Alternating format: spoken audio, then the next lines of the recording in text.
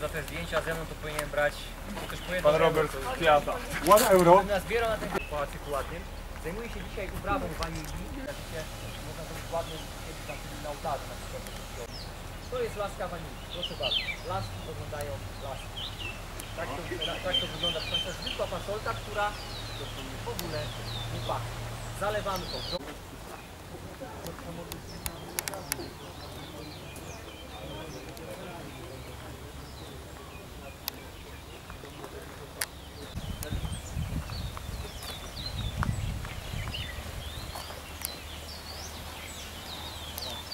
un mal plan estuve, hermano.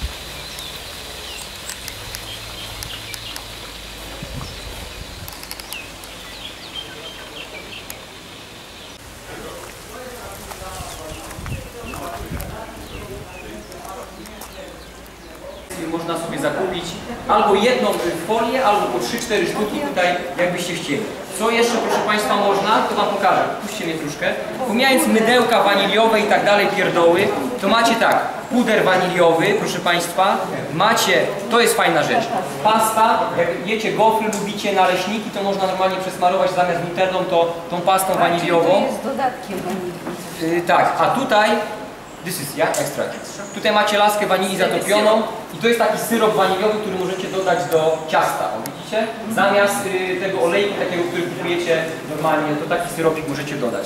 No i co? Chwila dla Was, zobaczcie sobie komu tam brakło herbaty, to może jakąś znajdziecie jeszcze tutaj, jakieś tam miodziki, pierdoły. A ta propos...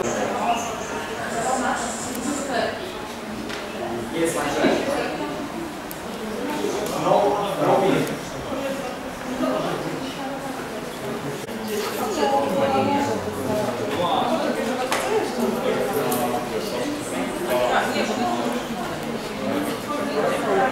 Vanilla.